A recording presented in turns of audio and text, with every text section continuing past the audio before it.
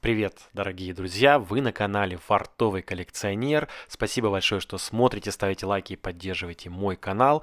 В этом выпуске будет э, интервью со мной, небольшой фрагмент подкаста «Послушай Виолити». Основная часть подкаста будет на канале Виолити, ссылка будет в описании. Обязательно перейдите, послушайте, если вам интересна тема, как заработать на монетах, а какие бывают редкие монеты, вообще как э, немножко о моем канале. А в этом выпуске еще в конце я я а, разыграю вот эти замечательные подарки, это футболки, а, прямо сам итог конкурса, вы узнаете, кто победитель, потому что а, те, кто оставлял комментарий в предыдущих видео, знают, и они как раз участвуют в этом конкурсе. Ну что, давайте переходить к интервью, и буду вам демонстрировать в, в этом формате не только подкаст аудио, а еще какую-то нарезку из редких монет Украины, так что есть на что посмотреть. Ну что, поехали! 3, 2, 1. Меня зовут Денис Минин. Это «Послушай Виолити». Поехали.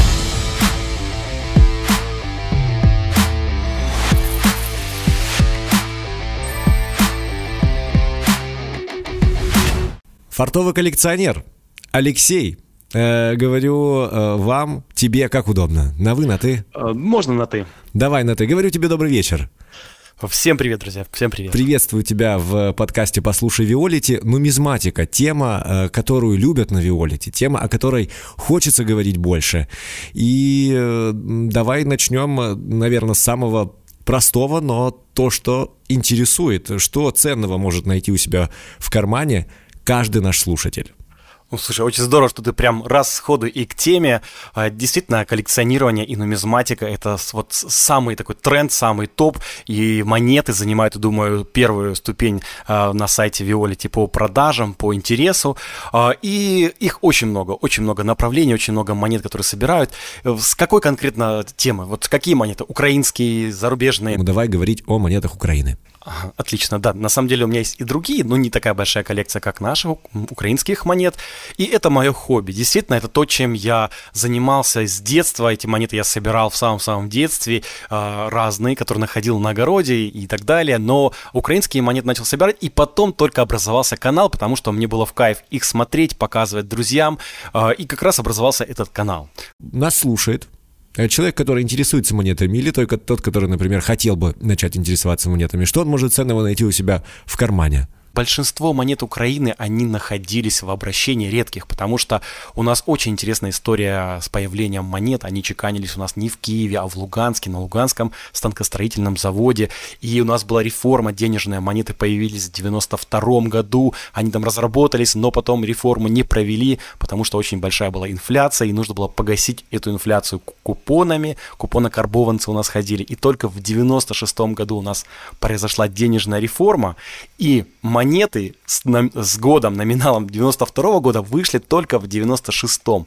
Ну, наверняка вы все видели эти 50 копеек, которые э, у нас э, фактически можно получить на сдачу. И и некоторые разновидности, которые появлялись, которые тестировали, пробовали в Украине, чеканились, они действительно отличаются, и огромный спектр монет Украины каких-то необычных пробных с браками а, появился, и именно это породило такое направление, как коллекционирование монет Украины. А самые-самые первые монеты, это 92-й, 95-й, 96-й, они очень интересны. И самые дорогие это гривны, э, гривны, которые вот этих годов, 92-й, 95-й, 96-й, потому что тиражи были очень маленькие, эти монеты могут считаться даже пробными. И на Виолете такие монеты набирают э, десятки тысяч гривен на продажах. Это очень интересно. А вот монету ты нашел. Что делать дальше? Кому ее показывать? Как ее правильно оценить? А, значит, когда попадается каким-то образом монета, вы купили где-то или нашли на сдачу, конечно, нужно понять подлинность, потому что некоторые монеты настолько раскручены, настолько стоят дорого, что уже в Китае начали делать подделки под гривну 92 -го года, 95-го, 96-го. Да, китайцы поняли, что есть запрос, люди хотят. И если человек вообще только слышал, что вот ценен год монетки, и потом ему кто-то говорит, вот купи у меня вот там за 100 долларов, я тебе отдам монету 92 -го года, гривну, которая стоит уже не 100 долларов, а, например, 500 долларов, да, и он думает, возьму, а по факту она поддельная. И нужно просто визуально хотя бы посмотреть на сайте Виольти, вбить название э, гривны, э, такая-то гривна, такой-то год, и посмотреть визуально, как выглядят оригиналы. И именно туда можно выставлять, продавать. То есть я это делал, выставлял. У меня подписчики присылают монеты, которые они находили, я у них приобретал а, лично. И действительно в копилках старых находились монеты, которые просто тестировали оборудование в Луганске, а, просто чтобы посмотреть, как оно вообще будет, и каким-то образом эти монеты попадали в оборот. Просто выносились, я не знаю, платилось за что-то, покупалось в то время. То есть продать можно, выставляя на специализированной площадке. Конечно, если придете просто в магазин, дадите вашу гривну 92 года, никто не оценит, э, скажет, ну окей, спасибо, и ничего вы толком-то и не купите. Э, стоит э, человеку, который решил зарабатывать, вот прям зарабатывать на монетах, с кем-то кооперироваться, писать э, тем, кто имеет знания, авторитет, или же это можно сделать вот на бум, почитав в гугле, посмотрев в ютубе, э, как это происходит, как это было у тебя. Ага, да, как зарабатывать. На самом деле это очень интересная тема. Зарабатывать на монетах есть много разных направлений. От просто обычного перебора, когда ты смотришь копилки, выбираешь какие-то редкие монетки, их выставляешь, продаешь. Можно покупать уже э, монеты, которые выставлены на Виолете, которые уже набрали определенную свою стоимость, но они в перспективе будут интересны коллекционерам, и можно их брать и потом перепродавать через там 2-3 года. Э, так, такой вариант еще бывает, когда человек покупает монеты про запас и потом через через время они раскручиваются, люди на них узнают, они уходят из обращения. На самом деле я по теме заработка на монетах, у меня есть отдельный канал, я его назвал Монетомания, кроме фартовый коллекционер, где про коллекционирование, нумизматику, про картины, есть Монетомания, там только про монеты и про заработок на монетах.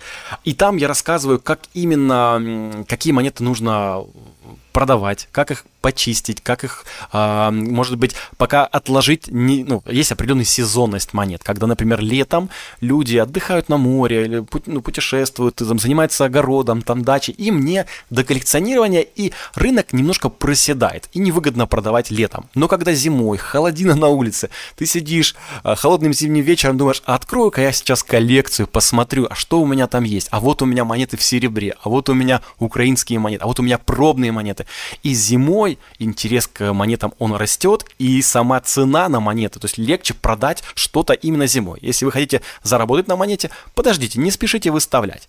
Конечно, еще экономическая ситуация очень важна в стране, потому что когда у нас там чем-то пугают кризисом, у нас локдаун, у нас проблемы, у людей финансовые какие-то э, про, финансовые проблемы, а, рынок падает, и какие-то супер классные монеты могут э, быть гораздо дешевле. Когда в стране все хорошо, нумизматика развивается, у людей есть деньги, все набирает, набирает, набирает обороты. То есть с точки зрения сейчас там можно, например, покупать что-то дешевле, потому что там локдаун, бизнес закрылся, нужны деньги, человек там продает, как раз продает свою коллекцию. Оп, сейчас можно закупить монеты. Если у вас есть определенные деньги, вы понимаете, что а, вы готовы инвестировать, и вам это интересно, потому что все-таки я еще получаю удовольствие от этих монет. То есть не просто так купил материал какой-то, знаете, который не, не радует, и думаешь, ага, хорошо, заработаю на нем через год. Нет, для меня это больше через хобби и в кайф, и даже если какую-то монету я потом передумаю продавать, я могу оставить ее себе в коллекции.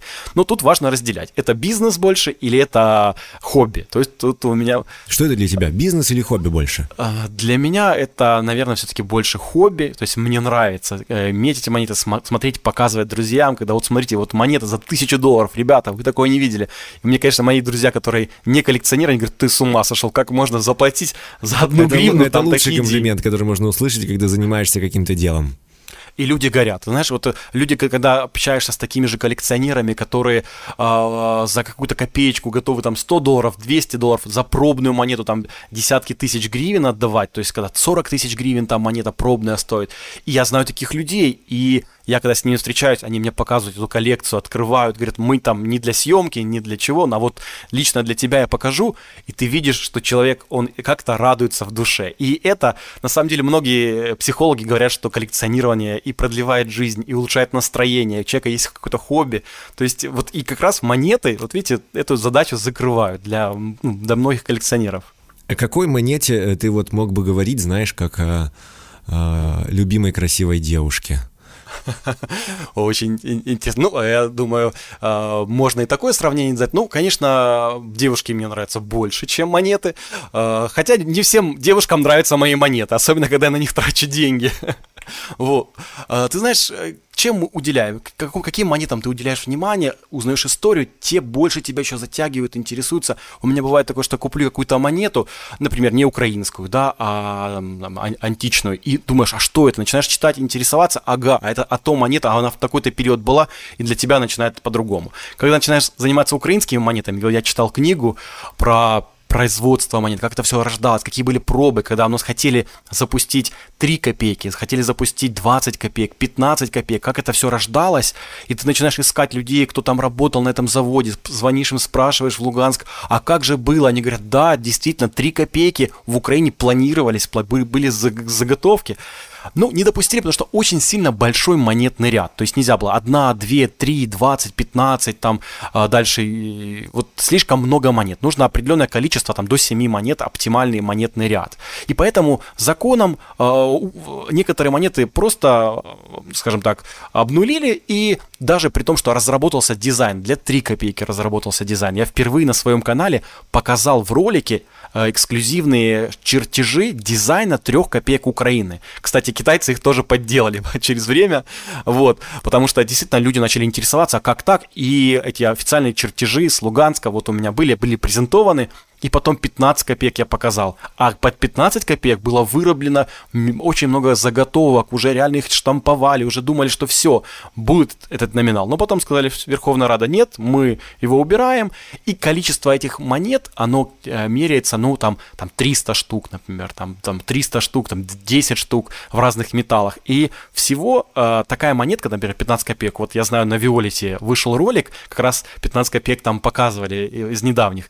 Вот э, они ценятся, и они могут стоить больше 15 тысяч гривен, то есть и больше, в зависимости от состояния, до 1000 долларов. Эта монета сейчас набирала на аукционе. Так, друзья, для участия в этом конкурсе необходимо было оставить комментарий а, в крайнем видео про педальную машинку СССР, быть подписанным на канал Фартовый коллекционер и на канал Виолити, друзья очень простые условия. А, мы сейчас это все будем проверять. И всего 100 комментариев, друзья. Это очень-очень мало участников, так что шанс есть у всех, кто написал комментарий. И вот такие за замечательные подарки я подарил, которые вот я в этом выпуске, кстати, и показывал. Это сумка от Виолити, это брелок, э, брелок на ключи, это тряпочка, футболка большого размера L. Так что сейчас, я думаю, мы определим победителя. Для этого мы берем поделиться, копировать новую ссылку, вставляем. Нас заново проанализировал 105 комментариев. Ну что ж, друзья, все выбрано. Авторы, проверка подписки. Погнали. Моментально буквально у нас происходит, э, происходит выбор, но не видно подписки, к сожалению, нет. Этот победитель не получает подарок от меня и от Виолити. Давайте следующий участник, друзья, проверяйте, чтобы вы были подписаны на меня, на, меня, на Виолете, и у вас открыты были подписки. Давайте, я думаю, второй победитель точно должен найтись. Нет, нет, поздравлять победителей, но сам скрыт список подписок, к сожалению. Давайте следующий, третий фартовый. Список подписок скрыт. А, вот у человека есть педальная машинка, ну, я и поздравляю. К сожалению, вы не победили в этом конкурсе. Давайте следующего участника. Прямо, ну как так? Есть здравия желаю, знакомый никнейм, а, принимает участие, написано на английском языке. А, давайте проверим, подписан ли данный участник на канал Виолити. Это очень-очень важно. И мы видим, что подписан на канал Фартовый коллекционер, на все наши дружественные каналы, Нумизматикс ТВ, Лавка удовольствий мы видим э, и другие каналы, и Magic Money, вторые каналы. Дру... Поздравляем тебя, не знаю, как тебя зовут, но вот такой никнейм здравия желаю. Видим, что здесь есть канал Виолити про коллекционирование. А, друзья, обязательно подпишитесь на канал Виолити, потому что такие конкурсы я буду проводить и дальше. У нас определился победитель. Спасибо, друзья, всем, кто а, присоединился. А, очень было реально выиграть прям в этом конкурсе с огромным количеством подарков. Спасибо всем, кто был на эфире. Всем удачи, фарта, здоровья и пока.